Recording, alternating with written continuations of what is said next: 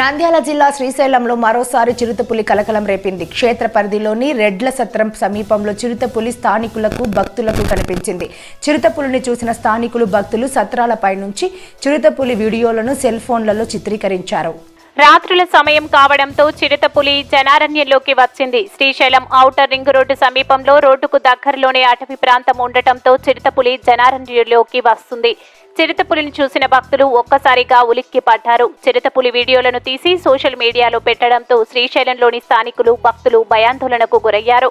శ్రీశైలంలో గతంలో కూడా చిరుతపులులు ఔటర్ రింగ్ రోడ్డు శివాజీ స్ఫూర్తి కేంద్రం రుద్ర పార్క్ సమీపంలో చిరుతలు భక్తులకు కనబడ్డాయి. అయితే శ్రీశైలం దేవస్థానం అధికారులు అటవీ శాఖ అధికారులు భక్తులను అప్రమత్తం చేశారు. శ్రీశైలం వచ్చి వెళ్ళే భక్తులు అప్రమత్తంగా ఉండాలని స్థానికులకు భక్తులకు విజ్ఞప్తి చేశారు.